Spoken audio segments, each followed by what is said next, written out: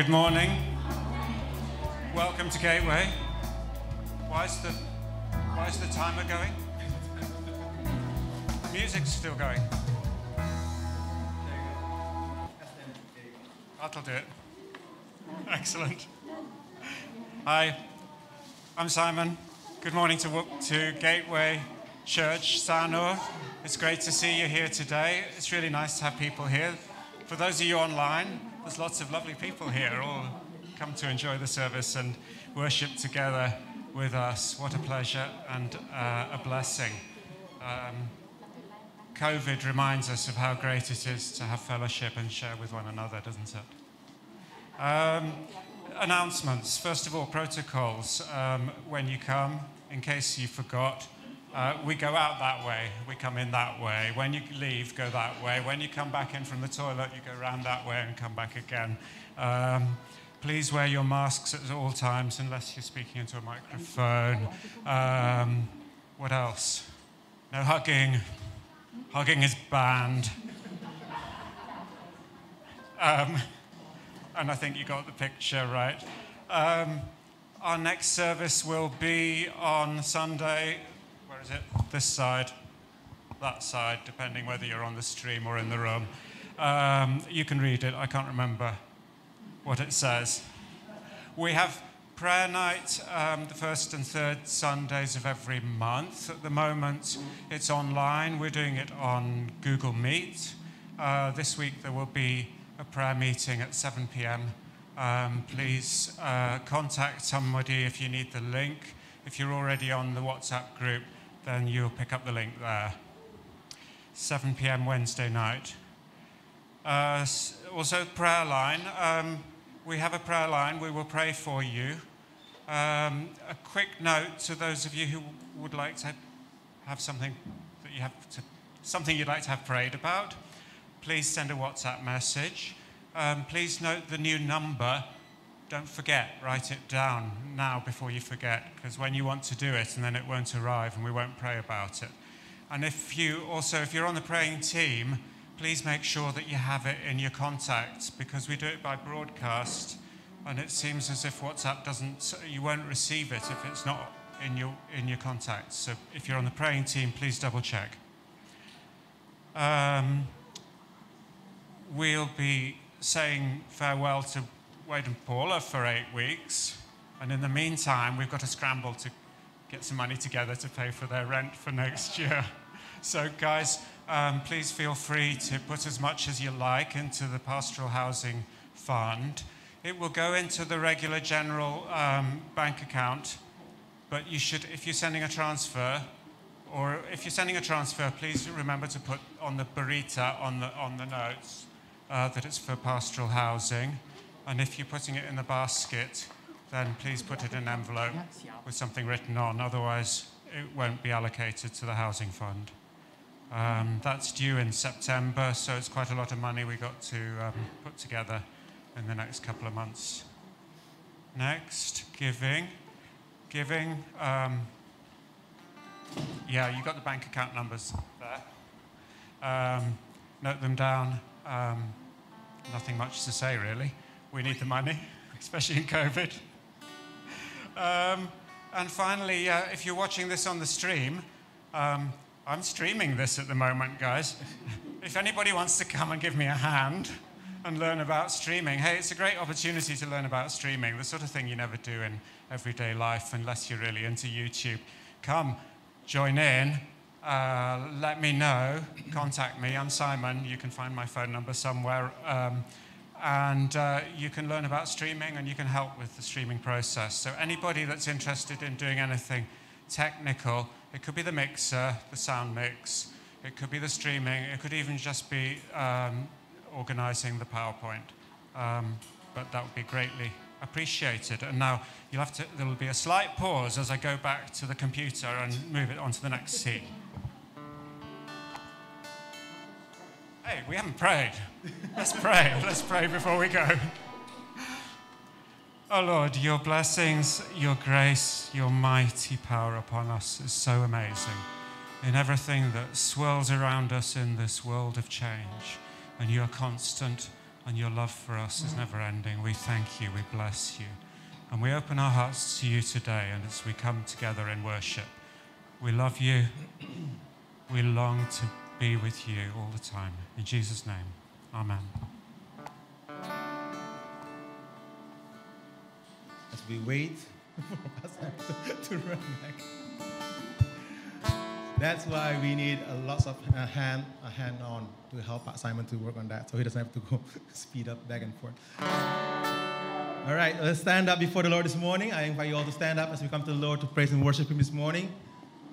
Um, you know, in in Sunday school, you know, when or, or uh, in the kindergarten, you know, we always think we always say to the children like, put your thinking cap on when we want them to think about something, learn something. This morning, I want you to put your worship cap on because we're going to start to worship God this morning. So here we go.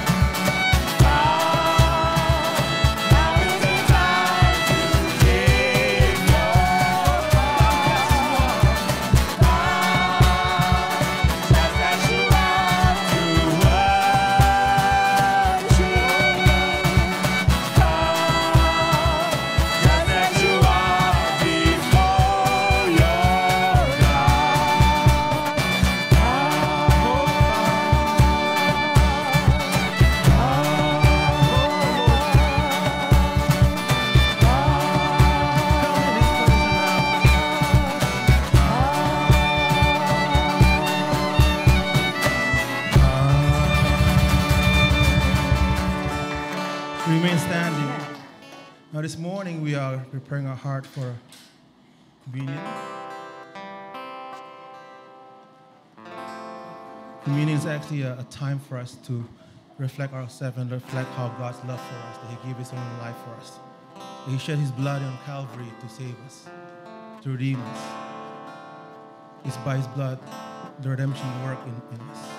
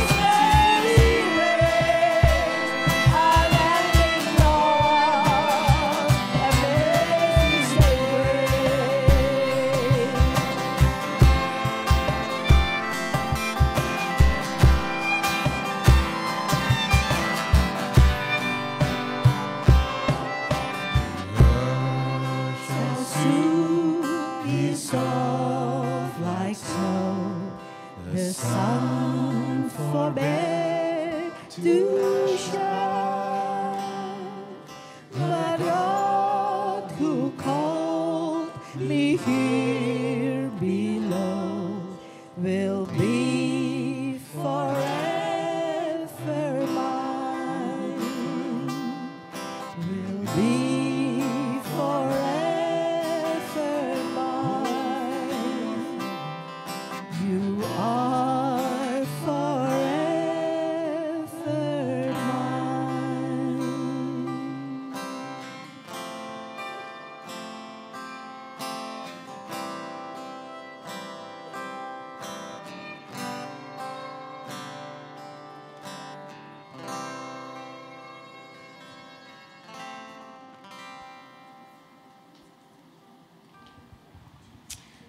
Thanks, Lord, for just being ours. Thanks for allowing us to be yours.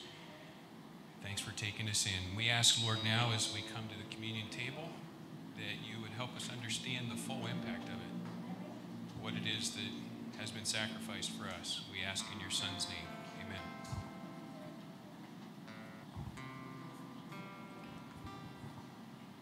Yeah, the scripture's up there, uh, what we're going to follow. 1 Corinthians 11. When this happened, it was the Last Supper. It was the last time that Jesus was going to spend time with his disciples uh, on this earth. And then later on, as you know, the resurrection happened in the ascension. So, this is a command from our Lord to uh, come together once in a while and spend some time eating together and using the bread to represent his body that was broken and the cup to represent the blood that was shed for us. And he said in Acts 1 8, You will receive power by the Holy Spirit when it comes upon you, and you will be witnesses for me in Jerusalem, in Judea and Samaria, and then to the uttermost parts of the earth. So, Peter, after the Pentecost thing happened, gave a sermon, and there were 3,000 people who came to the Lord as a result of that. And after the sermon, people said, Well, now what are we supposed to do?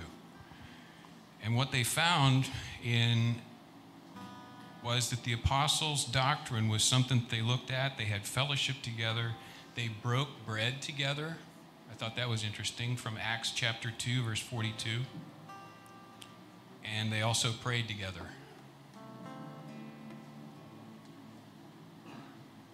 So now, as we follow the scripture here from 1 Corinthians 11, I'll just read it for you. You can follow along there if you want.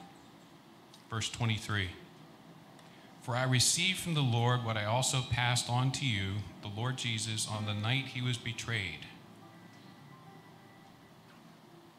He took bread, and then he had given thanks, he broke it, and said, This is my body, which is for you. Do this in remembrance of me. So let's take the bread. It's in your little bag.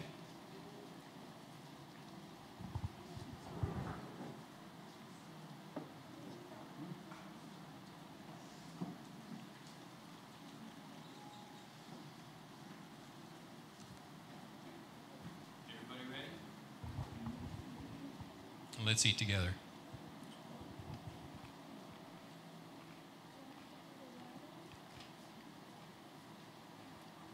This is my body, which is for you. Do this in remembrance of me. In the same way, after supper, he took the cup. Take your little cup.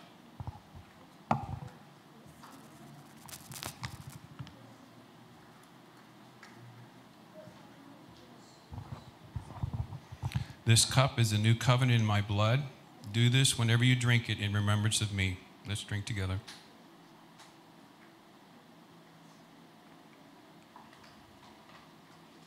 So we proclaim your death now as a memorial, realizing that someday you're coming back. So then, whoever eats the bread or drinks the cup of the Lord in an unworthy manner will be guilty of sinning against the body. Everyone ought to examine themselves. So we pause here in a moment of silence, thanking the Lord, thinking through what it is you need to ask the Lord about.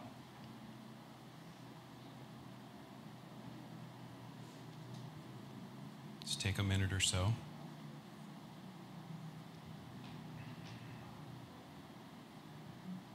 So thank you, Lord, again for your sacrifice, for dying on the cross for us, for giving the instruction that we should remember your death and resurrection and the power of it for forgiveness of sin. Thanks, Lord, for all those things you've done for us. We ask in your Son's name. Amen.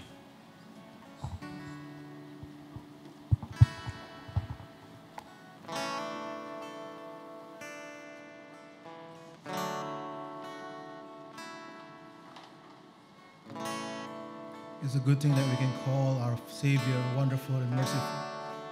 For His mercy and His love for us never ends, and it's new every morning. I think I invite you all to stand up as we prepare the heart uh, for the word of God this morning. Please join me in standing up this, this song.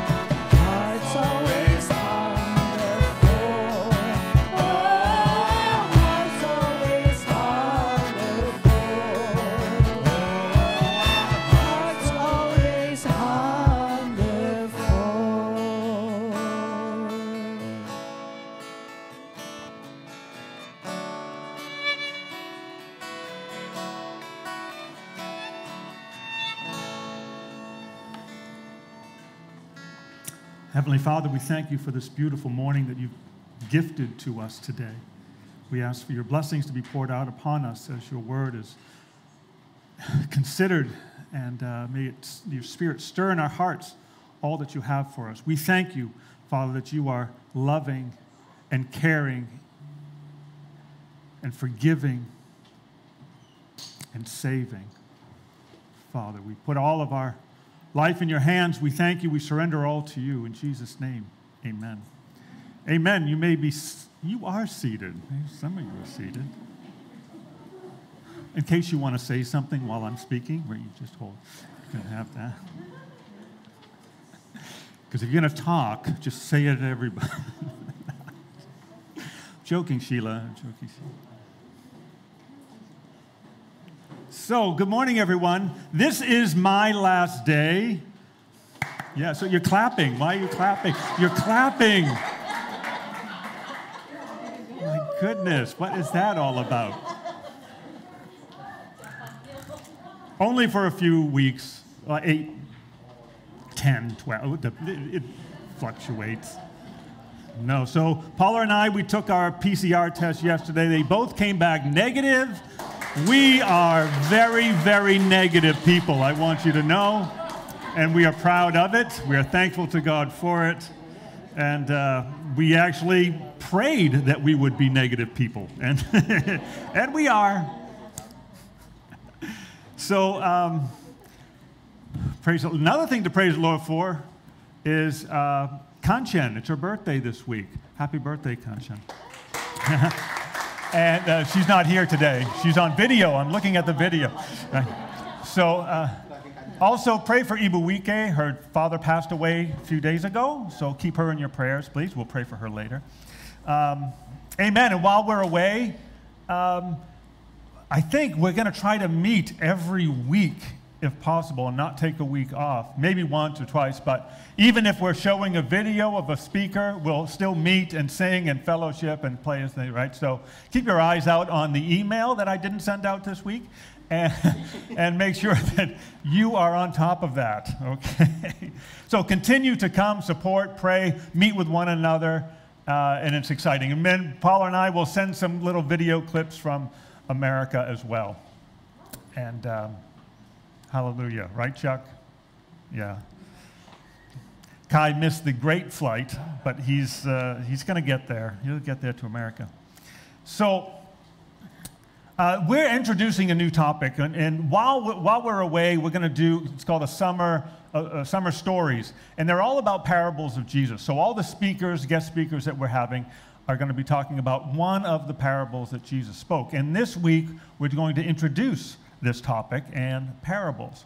How many have, uh, I would say all of you probably, uh, you've all been to school, right? At some way or some level, right? Nyron, Nyron, right? You've been to school. How many, how many, if you've been to school and you've been to university and all this stuff, how many classes do you really remember? I mean, how many lessons do you remember? You've had thousands of hours of school in, all kinds of subjects. How many lessons do you really remember? You look back and say, oh, yeah, week 32 of uh, year two. Right? How many sermons have you heard in your life? Uh oh. How many do you remember? Jane remembers all of them. She'll remind me. You spoke three weeks ago on, you said, so I, am not offended that you don't remember anything I say, okay? That's, uh, I'll throw that out there. right? But uh, it just goes to show that we hear a lot, we learn a lot. Like you, we don't remember everything we learned in school, but by now we do know how to add and subtract and multiply, right? We do know how to do math. Uh, we, haven't, we don't remember every sermon we've ever heard, but we see the growth and the production that it builds upon and our life today. Oh, it's, it's from all of that that we, that we have our understanding and learning, though we don't remember it all specifically. But there might be some class or there might be some sermon where that one just sticks with you. And it sticks with you, and it for like I go, oh, I remember that one. That's in my top five. I can remember these top ones that I've had, right? Uh, I don't think I've ever spoken one of those for you. But anyway, there might be one of those top fives, okay, Leon? And, and, and we go, that's the one. What was it in that one? Whether it spoke to us so deeply, right? The Spirit spoke to us so deeply, or perhaps, and what's often is that it's a story. Stories speak to us, don't they?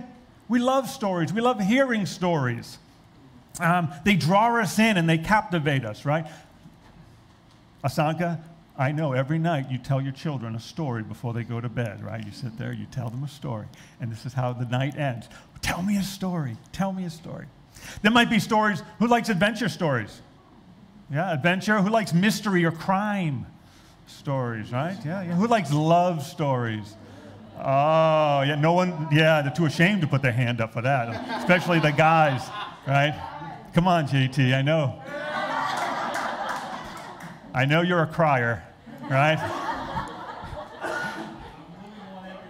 Yeah, it's true. It is, a life's an adventure, right? How about comedy? Who loves comedy stories, right? Just, yeah, there we go. We just want to laugh. Yeah, that's why you listen to me. Just you, right? So then there's also stories of faith. And if you're in the Christian world, you love a story of faith where you hear something that's inspirational and you go, wow, God did that. And we were on this trip and this happened, and wow, look what God did. Or we were uh, in, answer to prayer, something marvelous that God did, and it makes an impact on. It. We love faith stories, but there's also stories of intent, stories that have a point, stories that have a moral lesson. Right? The the what is it? The the rabbit and the turtle. Right? I don't know if you you know. I don't remember it. It was so long ago. But they have a point, and there's an intention to the story. They want to tell the story and get a point to you. Well, parables are like this. A parable is uh, the definition. It's made up of two words, para and bole. Not boule, but bole, okay? And it means to come alongside. So if it was a parabole, then that would be Chris. He's a parabole. He helps me, he comes alongside and helps me, right? But a parable is a story within a story. It's a story that comes alongside of a story, right? It's a parallel reality. But what parables do, when, we, when they, a story that's told, it engages the listener, doesn't it? it? It pulls you in, it engages the listener, it creates reflection. This story, it makes you think, it makes you ponder. And a parable, it, it, it deconstructs things that you, you, you, oh, wait a minute, maybe that wasn't true. And it reconstructs a new idea. And it also, number three, it promotes an action, a response, a response that turns into an action. Right? This is what it wants to get across. So, one form of, uh, well, parables are a form of indirect communication. I think we're all aware of indirect communication. In English, we have this uh, saying, so read between the lines. Like, this is what I'm saying, but this is what I mean, right? It's read between the lines, or you, you get the hint. I'm saying one thing, do you get it? Or sometimes when we don't get it, we, we say we got our signals crossed, right? You're, you're saying one thing, my signal is not, uh, this happens. For instance, my, Paula will say, oh, my, ne- my neck hurts. And I say, take a Tylenol.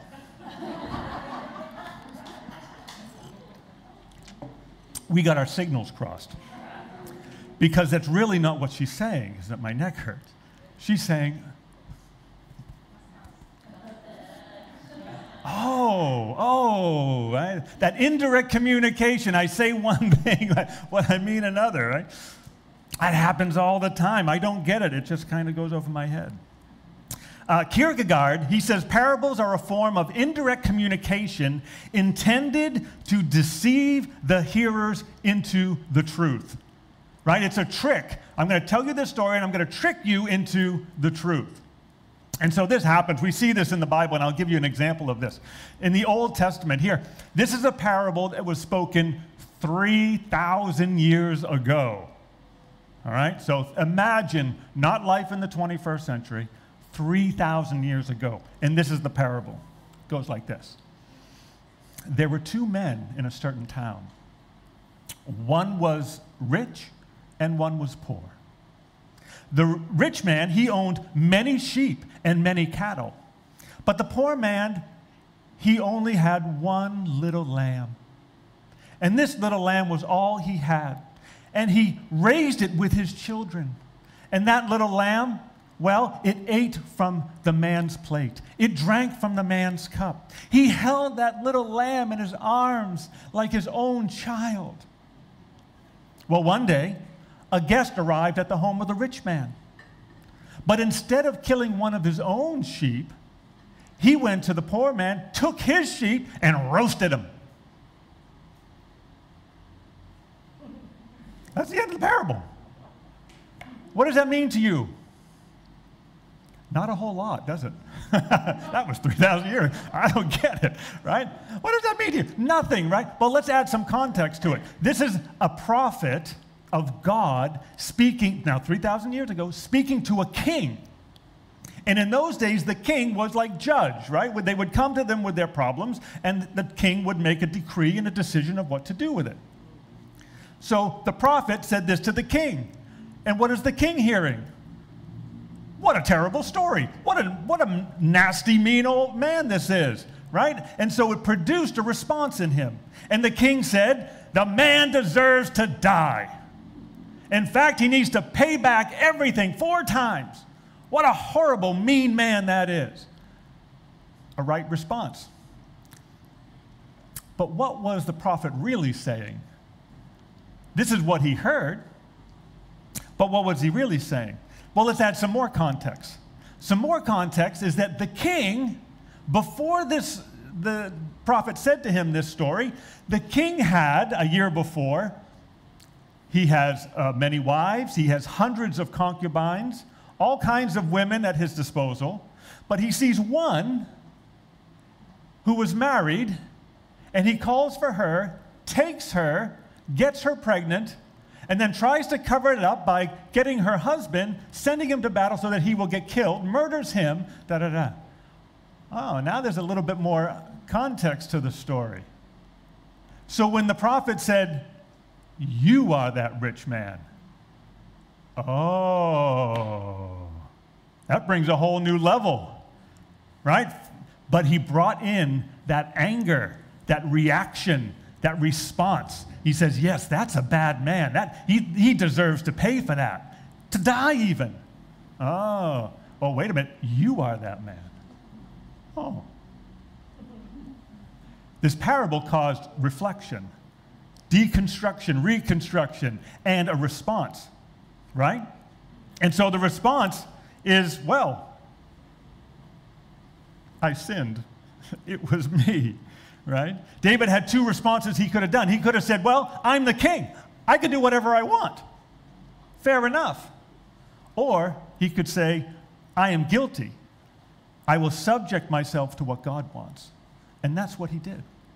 And he turned around and he confessed. And we talked about this last week about confession. That whole Psalm 32 was about this process of confession that he came to God for that. That was the response that the t- story intended to have right? So there was this parallel story going along in the parable. So, what are we saying? And there's a couple parts here. When we say something, what are we saying? David thought that Nathan was just saying the story. Then there's, well, as a speaker, what am I saying in one story? And number two, what am I meaning? What do I intend for you to understand? I'm going to say this, but what do I intend for you to understand? And the third part is significance. Significance is what does it mean to the listener? So, what am I saying? What am I meaning?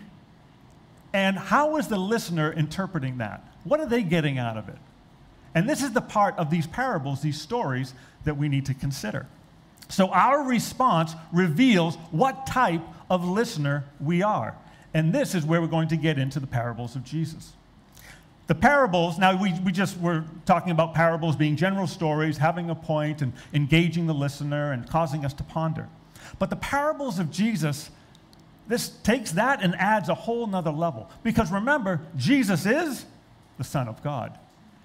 And his point of telling stories is far deeper than just a moral point. So the parables of Jesus are far more than just a cute story, a little moral. It's not a little, you know, parables. These are all Sunday school lessons for little children. No, that's not what they are. These are significant stories that talk about the kingdom of God. What was Jesus' mission? Why did he come? Well, let's look in Luke chapter 4, verse 43. Jesus, in his own words, he said this I must proclaim the good news of the kingdom of God to the other towns also, because that is why I was sent. Jesus was sent that he would proclaim the kingdom of God.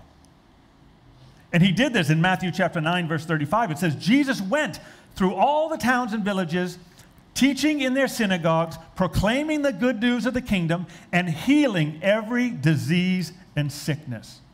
This is why Jesus came. He came to bring the kingdom of God, and all of that means down to us on earth, to reveal the kingdom of God to us. This is why he was here. This is why he shows up. This is why he came. Yes, to die on the cross and to seek and to save that was lost. Yes, yes, yes. But also to bring the kingdom of God in here, to, to show this to all of us. Well, at that time, to all of the first century Israelites. So everything Jesus is doing and everything he is saying is bringing the kingdom of God. When he forgives sin, you know, he went around healing people, healing the blind, healing the lame, healing the sick, healing the diseased, casting out demons. Everything he was doing on earth was to reveal the kingdom of God. This is what the kingdom is. The kingdom brings healing, the kingdom brings wholeness.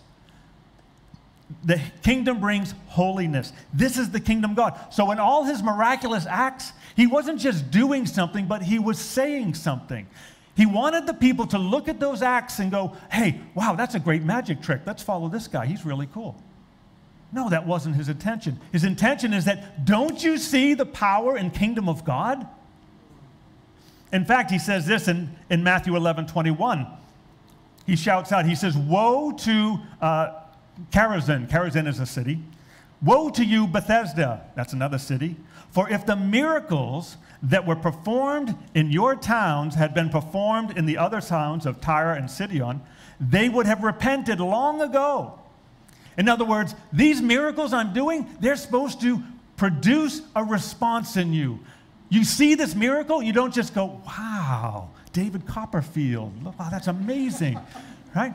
It's not, it's to produce and say, hey, whoa, this is something amazing, this is something out of this world.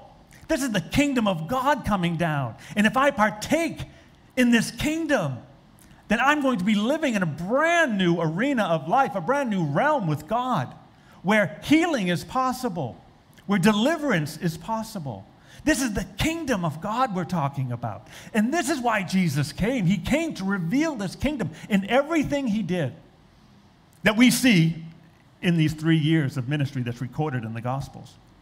But not just in what he does, but also in what he teaches, what he preaches, what he shares in his parables.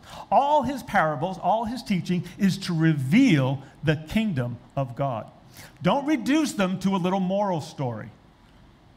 We can't reduce them to, uh, we hear, we read a parable and say, okay, so what's that? And plug ourselves in immediately. Right? No, that, mm, that must be for me. That must be me we look at, the, we look at these parables and we first look, Jesus is teaching about his kingdom. Jesus is teaching about a whole new kingdom. Consider when he talks about forgiveness, right? Forgiveness is, well, everybody teaches forgiveness. Every religion teaches forgiveness. Every person, right? But when Jesus is teaching it, he's, well, how often do we forgive, Lord? Seven times, seven times a day? That would be ridiculous. Yes, well, actually, seven times 70. He's bringing in a whole new kingdom mentality to forgiveness. He's not just saying you must forgive seven times 70. That would, that would just be a surface level understanding. But he's saying, in my kingdom, forgiveness is so amazing and so outstanding that you might think you're the worst failure on the planet and God can still forgive you. This is kingdom forgiveness. And each time he's talking about money or giving or, or, uh, or mercy and kindness. He's talking from a realm of a kingdom, not just a moral Christian character that we're supposed to implement. And this is the beauty of Jesus coming and teaching us these things. And he's teaching us and he's revealing kingdom values. Kingdom values that are transforming our hearts and our behavior.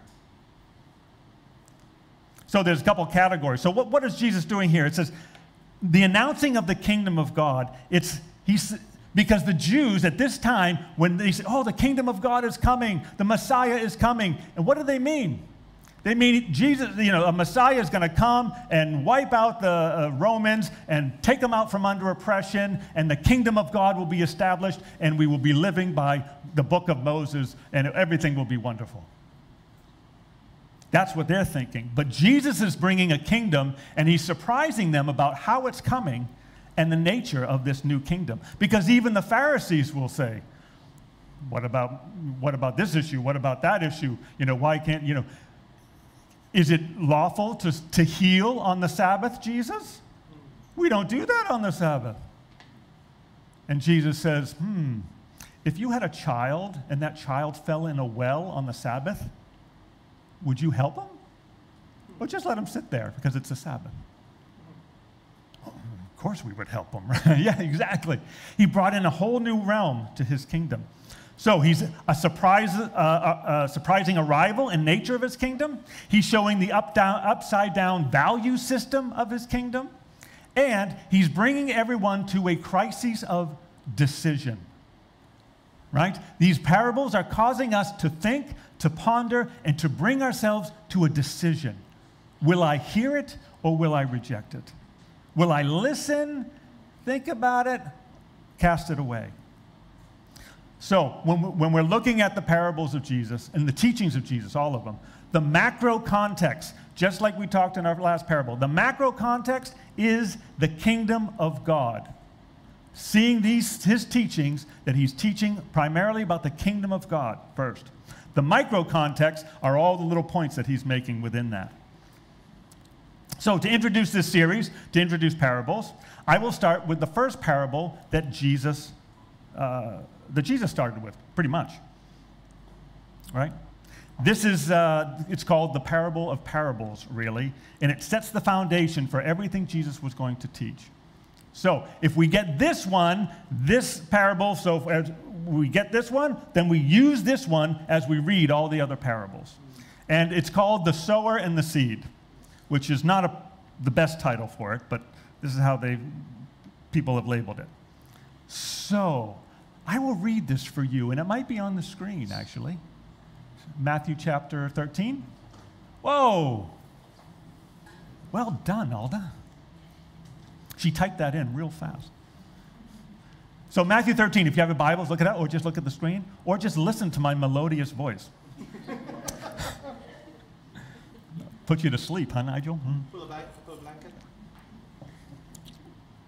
That same day, Jesus went out of the house and sat by the lake. What a beautiful scene, sit by a lake. Isn't that wonderful? I would love to do that. Such large crowds gathered around him that he got into a boat and sat in it. He sat down and taught, while all the people stood on the shore. Everybody stand. no, we're just joking. You don't have to. Then he told them many things in parables. He taught mostly in parables, saying, A farmer went out to sow his seed. As he was scattering the seed, some fell along the path, and the birds came and ate it up. Some fell on rocky places where it did not have much soil. It sprang up quickly because the soil was shallow. And when the sun came up, the plants were scorched, and they withered because they had no root. The other seed fell among thorns, which grew up and choked the plants. Still other fell on good soil, where it produced a crop 160 or 30 times what had sown. Whoever has ears, let them hear. Got it? Yay! All right, we got it.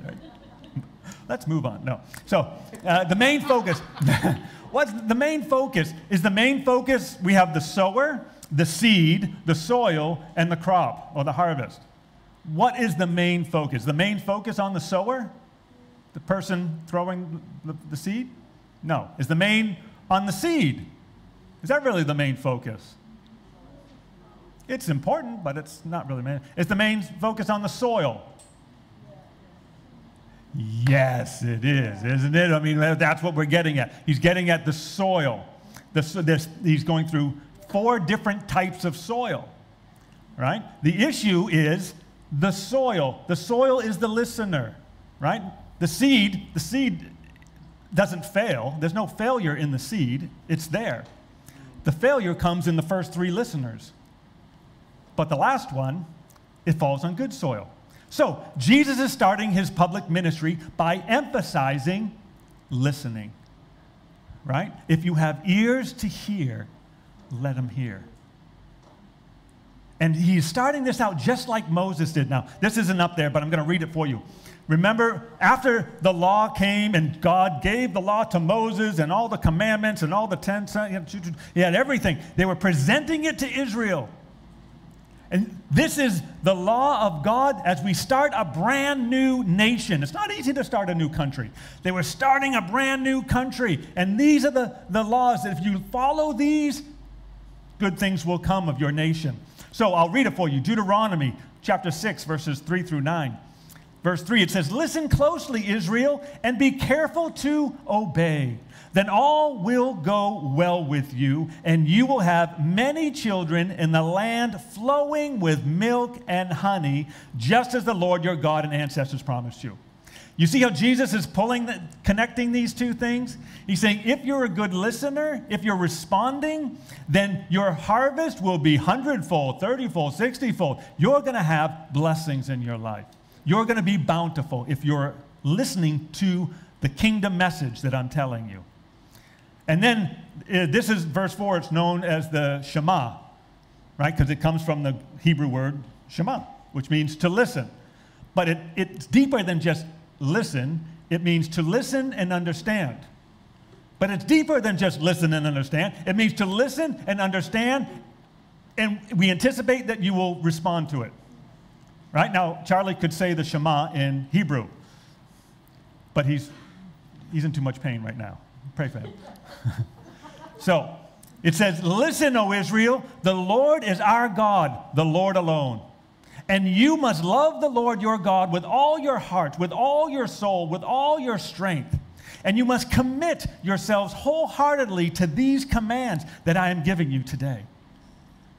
So, what Jesus is doing, as Moses started out Israel by this command of listen and obey, and all will go well with you. This is what Jesus is starting out his ministry with listen and, and, and follow through with it. Listen to this message of the kingdom. This is unbelievable. The kingdom is come for you, and it's bringing blessing and bounty for you. So listen and receive it, and let it cause a response in you, a positive response that says, I'm in. I'm not just going to listen, throw it away. I'm in. And then he says this whoever has ears, let him hear. Jesus, after that parable, he then quotes in the next verse. He quotes from Isaiah chapter 6. And he says, This is why I speak to them in parables. Though seeing, they do not see. Though hearing, they do not hear and understand.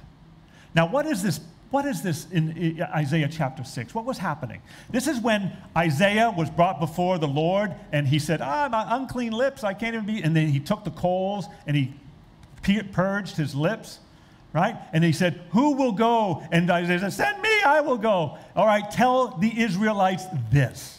And this is what he was told to tell the Israelites. Though they see, they don't perceive. They don't get it. Although they hear, they don't understand. If they would only see and understand, if they would only hear and get it, then I would heal them. And this is what Jesus is now saying as he's starting out his ministry. If only be careful that you hear these words. Because what happened to your ancestors? They didn't hear it, they rejected it, and then judgment came right? They were, they were sent out as exiles to uh, captives to Babylon. So Jesus is now, he's saying this, and he's bringing this, he's bringing this to the Israelites, to uh, them as individuals, but also as a nation. He's saying, I'm challenge you, Israel, to hear and listen. Hear and understand. And I'm also warning you that if you don't, that you're going to miss out. You're going to miss out on what God has for you, on eternal life. And this is beautiful. So then, so do you see the context of, where of what this parable is? And as Jesus sets this parable up, he's saying, This is the kingdom of God, this is the, the message, and I'm bringing it to you. Be good listeners. So, in, actually, in verse 18, he says this He says, Listen to what the parable means. And in verse 19, he says, and Jesus does a great service to us. He explains the parable because many of them he doesn't. And the, and, the, and the disciples were saying, they, pulled Jesus aside. They said, Jesus, why are you speaking in parables? We don't understand. right? It, Jesus, let me give you some communication tips. Right? If you want the people to understand, just say it like it is. Just tell them exactly what you mean. But Jesus says, This is why I'm telling in parables. And so, me as a preacher, I want to be, you know, my desire is that I be as clear as possible so you get it, right, right, so we get it. But Jesus is saying, you know what? A good hearer is going to, hmm, what is he saying? And then investigate it. Hmm, what is he saying? Let me think about it, ponder it. Hmm, I'm coming back tomorrow when Jesus is going to be on the, on the hillside. I'm going to hear him again. What is that about? So he explains in verse 19. He says, When anyone hears the message about the kingdom, this message, the kingdom, this is what I'm bringing. When they hear it, but they don't understand it, the evil one comes and snatches it away, what was sown in their heart. This is the seed that was thrown along the path. So these are the kind of hearers that are, uh, they hear it, they hear the kingdom message, they're like, eh, and walk away. Eh, not important to me. Mm, eh, done. Verse 20. How about the seed that falls on the rocky ground? This refers to someone who hears the word and at once receives it with joy. But since they have no root, they last only a short time. And when trouble or persecution comes because of the word, they quickly fall away.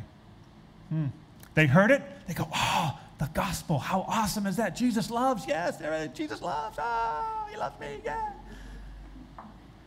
And then when things get tough, what? I'm sorry, you believe in Jesus? Well, well, yeah. Well, no, uh, you don't believe in that Jesus stuff. No, well, yeah, I guess not. No, no, I don't believe in that. Forget it. This is. Uh, do you know anyone like that? I do. I know the pathway listener. I know the the, the rocky listener. And then he says, uh, the next one, the seed falling upon thorns, refers to someone who hears the word, but the worries of this life and the deceitfulness of wealth choke the word, making it unfruitful. Right? We, say, hey, yeah, okay, this Christian thing is pretty good. I'm going to go through it. Uh, but then, yeah, you know, I, get distracted by this, I get distracted by that, eh, eh, and it just takes a back seat, back seat, back seat. And further it goes. But, he says, but the seed falling on good soil refers to someone who hears the word and understands it. This is the one who produces a crop yielding 160 or 30 fold. Right? So the parable of the sower is a parable about hearing and understanding and responding to God's message about his kingdom. For some, it's the first time they hear the gospel message. For others that have been listening to the message of the kingdom, it's being more about these kingdom values that God is talking about that's changing our lives and seeing more about what God thinks about the different aspects of life, what He thinks about life and death, what He thinks about poor and rich, what He thinks about uh, mercy or forgiveness and love and compassion and all these things. These are all, you know, in the Apostle Paul, he takes that, he carries that over to the Gentiles. Because Jesus is speaking to the Jews, but then he carries us to the Gentiles and he says, This kingdom message, this is the difference between living in the flesh and living in the spirit. Between walking in, the, in, in darkness and walking in the light. This is how he brings it to our practical life in our day or in their day. And then, of course, we continue on to our day. So, how do we go from seeing this as kingdom? First, we look at the parable, we look at the teachings of Jesus as the kingdom of God. He's teaching about the kingdom of God. And he's teaching about himself because he is the word.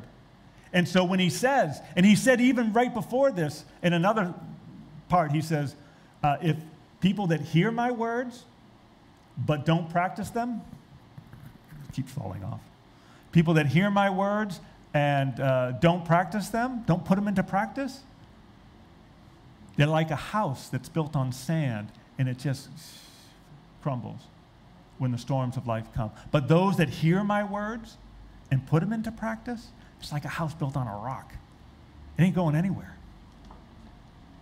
Our challenge today, and so how does this significant mean to us, right? We, we, see, we see what Jesus is saying. We're getting the meaning here. He's talking about being a, we've got these various kinds of listeners, and then you've got a listener that responds and understands. Which one am I going to be? Am I responding to the Word of God when it's spoken to me? Am I responding to the Word of God when I'm reading it? I know those kind of people too, right? Made is one of them. She's responded to the Word of God. She didn't know anything about the Word of God. And then she was brought into the kingdom. She received it with joy, and then she kept receiving it with joy. And she goes, Well, what I don't understand, I want to understand. So teach me. And let me read Scripture. Let me talk to God. We've seen that in the life of uh, Made. We've seen it, Leon, Nyana, Pipit, Jane, Simon. Nah, Dave, I'm not so sure. Uh, of course, Dave, uh, people that are here that are, that are, you know what? This is the kingdom of God. It is new, it, it is fresh, it is real, it is far better than the earthly kingdom that I'm living in. It turns it so upside down. So, our challenge how do we make, how is it significant to us? The Word of God speaks to us. And when the Word of God speaks to us, it's life changing. I'll tell you a little testimony. I didn't even tell my wife.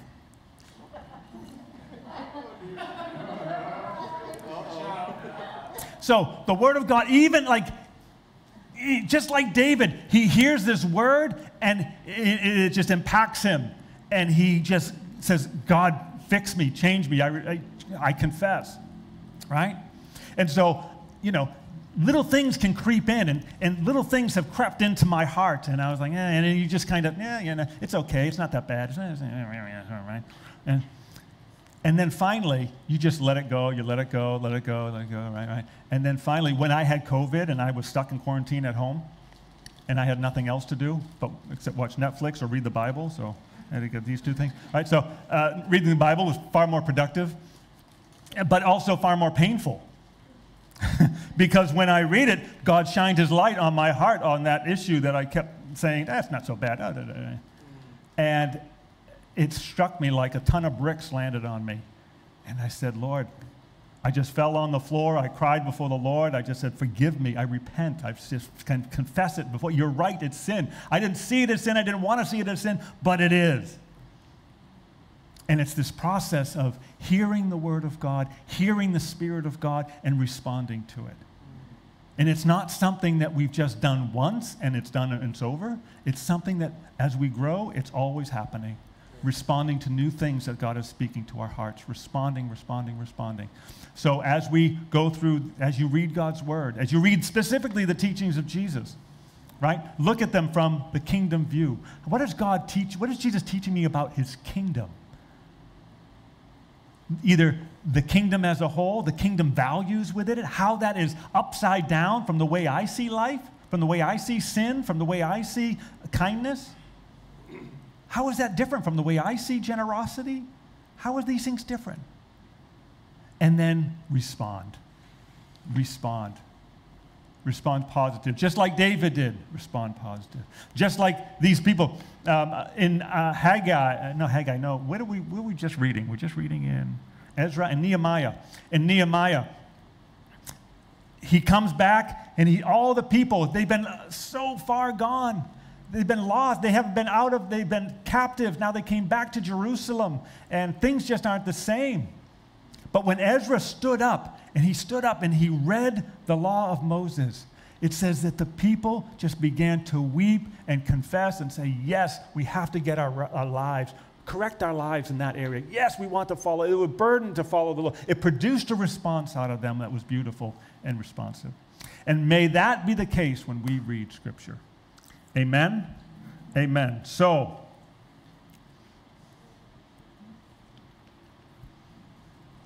this parable is about hearing that leads to productive living. I can't say that if you, if you go positive to these, that everything in your life is going to be wonderful and beautiful, and there's going to be no problems. That's not what God's saying. He's saying, but you will live a bountiful life. And that doesn't always mean wealth and riches, but bountiful in your heart and your joy. In, your, in fact, because when we follow God's word, then we're not following our flesh, which means we're going to save ourselves so many problems in life. Heavenly Father, we thank you so much for who you are, how you came, and the stories that you told, the teaching, the kingdom that you brought. You brought the kingdom in in doing and in speaking. Lord, your miracles, your, your, your works, they all testify to this kingdom. Your words testify to this kingdom. Lord, our challenge, uh, the challenge to our hearts today is Am I a good listener? Am I one that listens to understand, or do I listen and am I a lazy listener? Father, help our hearts to focus upon you, to listen to your word, and to cause a response in our hearts. In Jesus' name, amen. Amen. My parabole.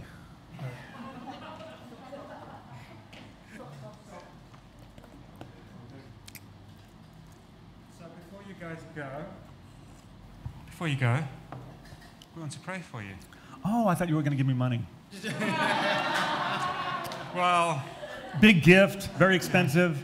actually, we've got a key to a garage with a Ferrari in it, but Ah, since you're going on it's about time. holiday, we, we, yeah, Paula can come up. Why not? You guys are not in the picture. Sorry. It's okay, but you can still pray. Lord Jesus, we uh, bless Paula and Wade, and we send them our love and our blessing as they go away to take some well-deserved rest. And we ask that you'll walk with them, keep them safe, build them up, strengthen them, deepen their relationship, uh, work with them, and make all the practicalities work through. Uh, no massive quarantines and everything. And Amen. uh, Lord, we, we just give our blessing to Paula and Wade, and you ask that you walk with them in this time away. In Jesus' name. Amen. Amen. As we close this morning, I'd like to invite you all to stand up as we song a happy day, the greatest day in history.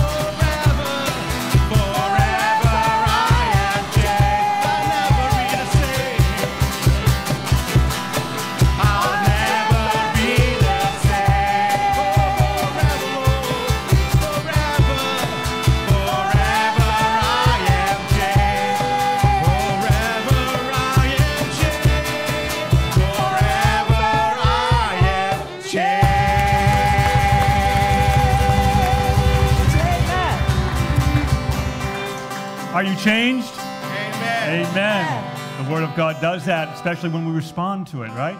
So praise the Lord. Oh, this week, so for the, the several weeks, just, right? Listen, listen, understand. Say, Lord, I want to be good listen. I want to listen. I want to understand. And so that's what we're going to do for the next several weeks as we hear about parabules. So thank you so much as we. So let's pray. Let's pray for you and pray for your week. Heavenly Father, we do thank you. It is a happy day. It's a beautiful day. It's a resurrection day, Sundays. Right? We thank you for it. We thank you that as we took communion, it's the, this new covenant, this new kingdom of God that has come down to, uh, to manifest, to reveal itself to us so that we can be a part of it. It's no longer concealed. Lord, we pray a blessing over each one here, our families, our lives, our, our relationships, our finances, our work, our health. God, the deep things in our hearts that only you know about, Father. We pray that you would move within our lives this week. We pray that you would touch people. Father, as we, as we respond to your word in our hearts, Lord, we pray that you would really bless uh, uh, just give her comfort in her heart, Lord, and uh, our friend Henny, who also lost her husband. We pray you give her comfort in her heart, Father, and just speak to them, touch them, Lord. Grant us your favor as we go forth this week proclaiming your kingdom. Bless Charlie, Lord. Heal his arm and his, his thing, and, and, and, uh, and Arthur as well, his shoulder. Father, just bless them and he, give, bring quick healing to Kelly, Lord, and, uh, and, and all of us who have sickness or surgery or these things, God, we just pray for your healing and your comfort in Jesus, Jesus' precious name. We thank you, Lord. Amen. Amen. Have a happy day.